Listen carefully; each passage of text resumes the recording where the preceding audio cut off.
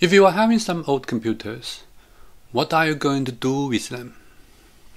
Hello everyone, welcome to my latest episode which I will show you a different way to transfer your old computers into a decent Chrome devices.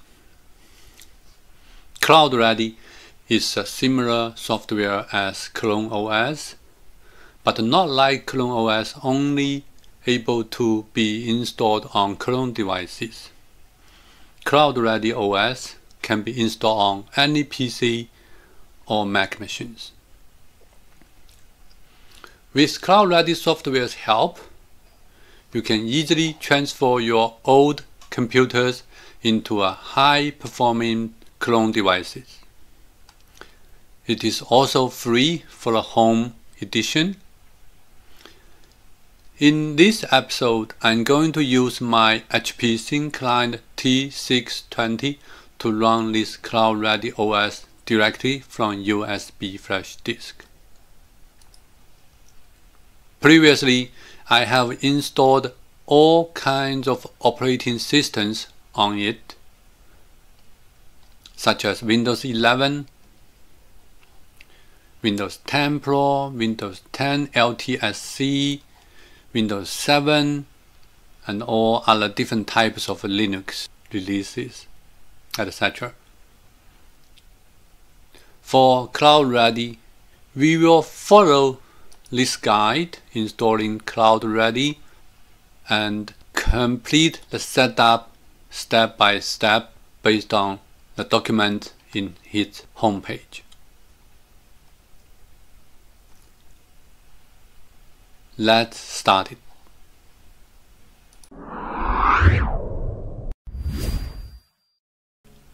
Let's go to Neverware Cloud Ready homepage. You will see Install a Home Edition button. Click on it. It go down to installing Cloud Ready. There's a bunch of uh, requirements, network compatibility, device certified check and what you need. For my list lab, I'm gonna use in a 32 gigabyte SanDisk USB 3.1 flash disk as an installation media. The next step, we're gonna build our Cloud Ready installer using the USB maker. So we're gonna download this USB maker.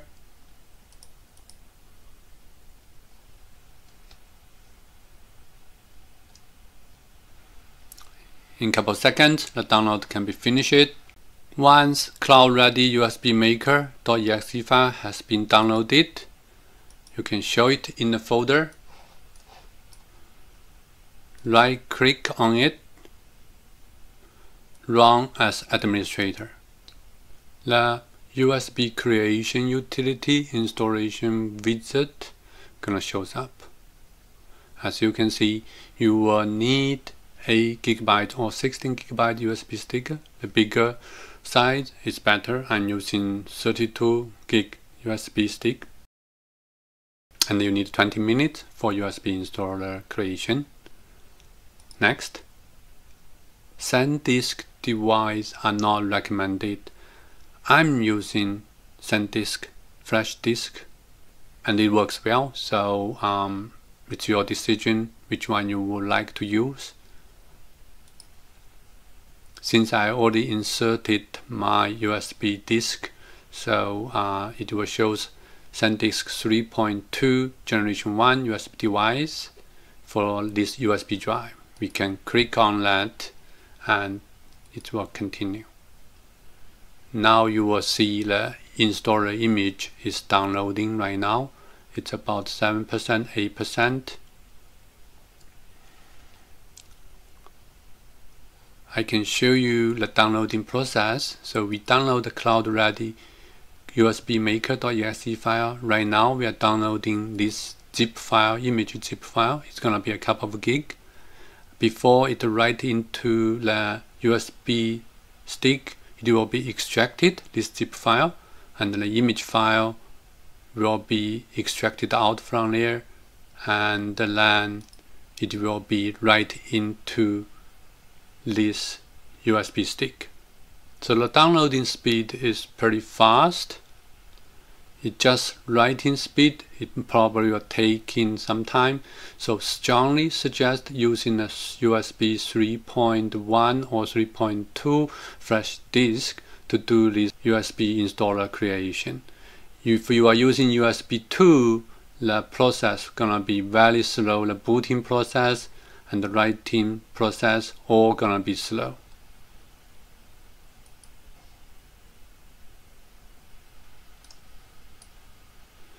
So right now it's extracting the compressed image. It's a extension name. It's uh, a bin.bin and you can see the downloaded image is 1.33 gigabytes. It's gonna take a little bit time to get this image to be extracted.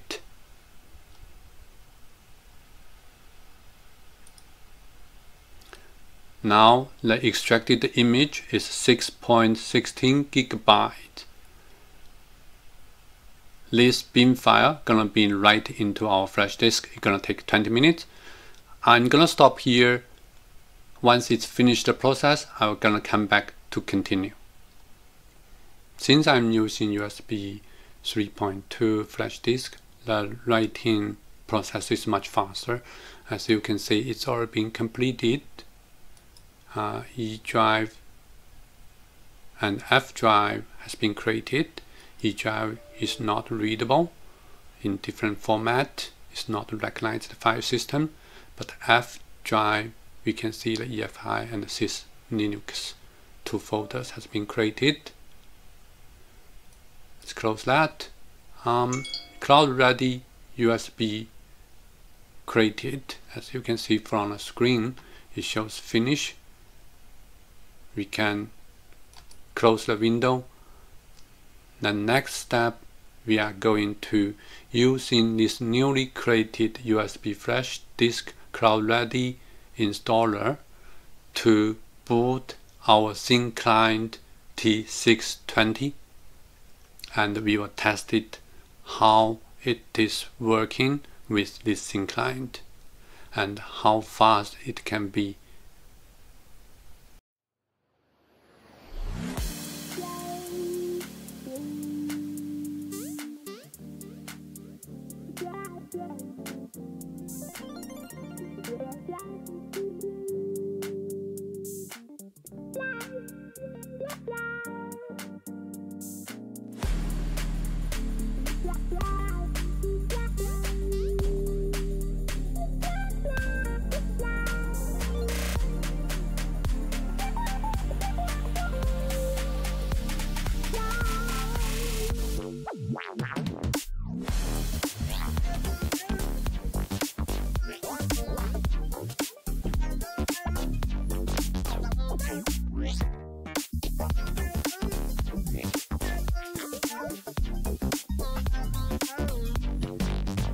Thank you.